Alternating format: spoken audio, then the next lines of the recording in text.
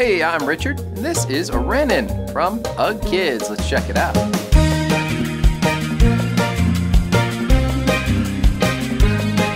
These guys here have a full grain leather and soft suede upper that looks fantastic.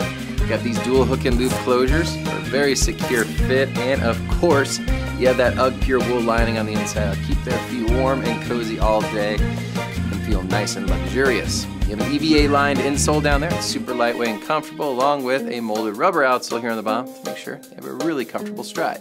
The most comfortable boots you have ever worn. So make sure you grab them today from UGG Kids.